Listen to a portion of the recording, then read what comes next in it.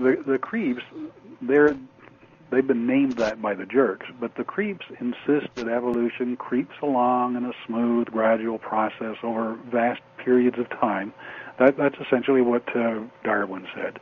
Whereas the jerks, so dubbed by the creeps, they maintain that evolution makes sudden, catastrophic leaps.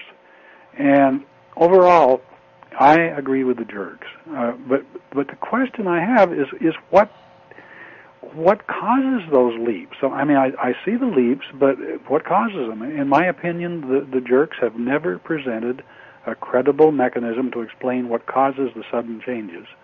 And I'm hoping tonight that I can can shed some, at least some light on that. But I think that geomagnetic reversals triggered those evolutionary leaps. All right, now, and, why? And what effect would a magnetic reversal have on the um, spawning, if you will, of a new species?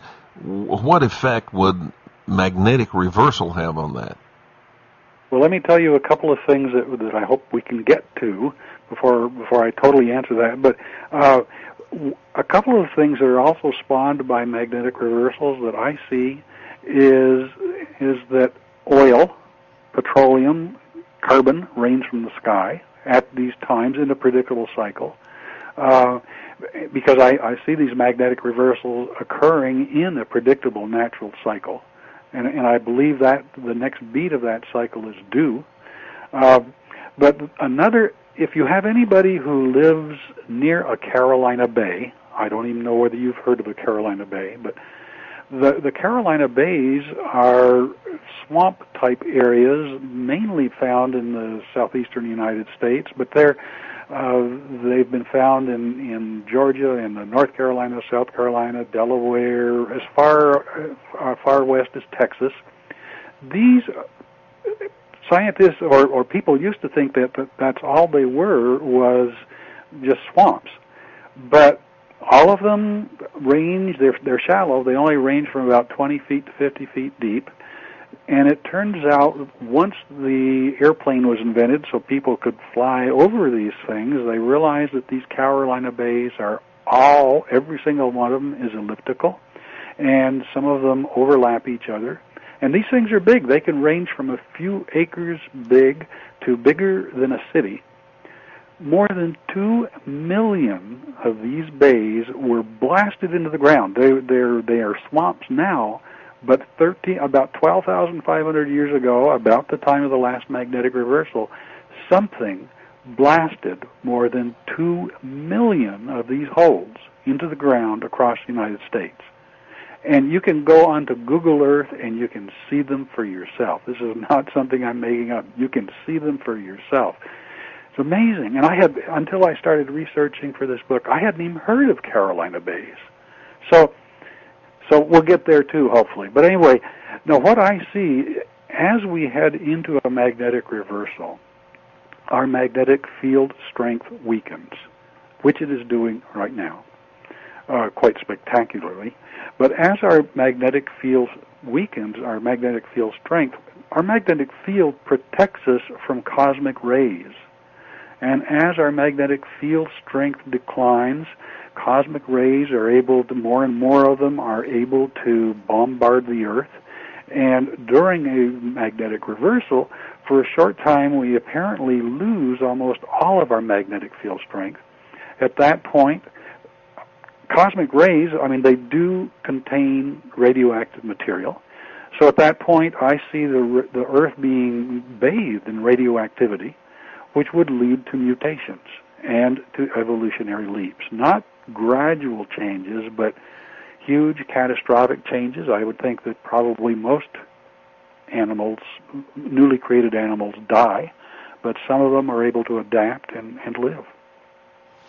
And I think eventually, you know, there's it's still a new field, but I think eventually we'll be able to place almost all major species changes near a magnetic reversal. Our um, magnetic field has been losing its strength, as you said, quite dramatically. Over the yes. past 2,000 years, our magnetic field has lost two thirds of its strength. Yes. and it's declining even more rapidly now. Yes, it is. The the rate of decline has picked up in the in the last hundred years. The, our magnetic field strength has declined by five percent. So it the rate of decline is picking up. Some scientists say we're 5,000 years from another magnetic reversal. Uh, some scientists say it would take 500 years for it to occur. But other scientists say that a magnetic reversal could occur in as few as 30 days. And I'm I'm with the ones that say 30 days. Why? Well, the, the reason for that is that there was a study done, uh, and I can't remember the names of all the scientists now. Prevost, I think, and Cox, but but um, scientists were making a study of lava flows on Steens Mountain in south central Oregon, and and one of the ways they can tell there had been a magnetic reversal is that lava, when it pours out of the ground, is non-magnetic because it's so hot. But as it cures, as it as it cools down what's called the Curie temperature, it takes on the magnetic field of the day. So, you know, it points whatever way the magnetic field is pointing. Well, these scientists drilled cores into the lava field at Steens Mountain. And they drilled some cores at the edge of the lava flow, and then they drilled some cores at the center of the lava flow. And I'm simplifying, but what they do is they drill a core, put their their compass down there, and see which way it points they discovered that the compass on the edge of the lava flow pointed in a different direction than the compass at the center of the lava flow, which means that the magnetic field reversed during the difference in time that it took for those two areas to cool. So it's possible that that, that, that magnetic reversal could have occurred in as little as 30 days, uh, based on that.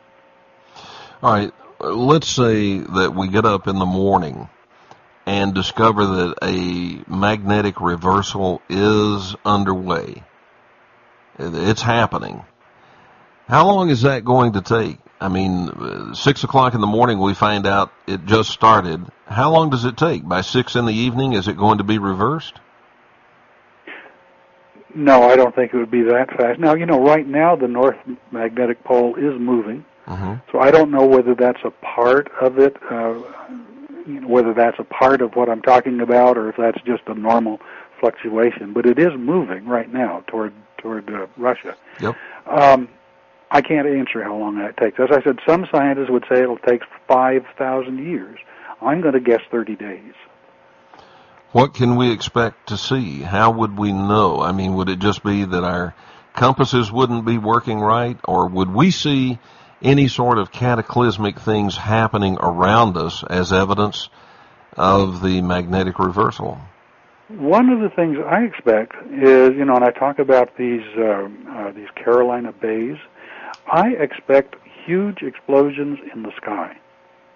Now, uh, the science is changing very rapidly. I came out with this this book a year ago, and, and where I was saying that you know, talking about these explosions in the sky, much like Tunguska from from uh, what was it, 1908, but of expecting explosions in the sky, because because right now, it, within the last few months, and this is even since the book came out, um, scientists have, discovered they've got a, a new um, uh, they've, they've got three satellites now that, that can triangulate and look at the aurora borealis and they have discovered huge explosions occurring in the sky up at the edge of our magnet- magnetosphere.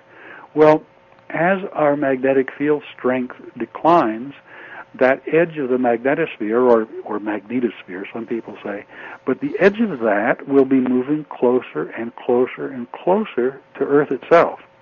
And so I think those explosions that now occur 600 miles up will be uh, occurring closer and closer to us.